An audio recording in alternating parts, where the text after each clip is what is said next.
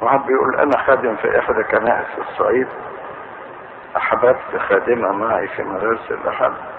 وتقدمت لها ثلاث مرات ورفضتني في المرات الثلاث لأنها تحب الشاب أكبر منها بعام واحد. ولكن رفضه اهلها لأنه غير جاهز ماديا. مع العلم بأنني في سن الزواج 31 سنة.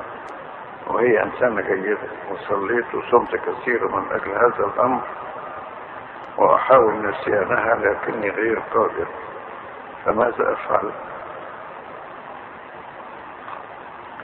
الإنسان اللي ترفض ترفضك وبعد كده تتمحلس فيها وتجري وراها. هتعكنن عليك طول ما أنت متجوز لأن قلبها مع واحد تاني. انت هتتجوز جسد ولا تتجوز قلب. القلب مش معاك. فكون إنها ترفضك كذا مرة وبعدين أنت تجري وراها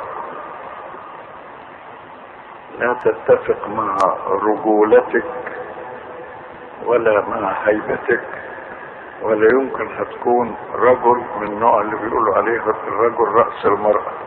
ورأسها منين؟ هي كده بتشعر إن هذا الرأس عبارة عن صباع بالنسبة ليها يبقى ترأسها إزاي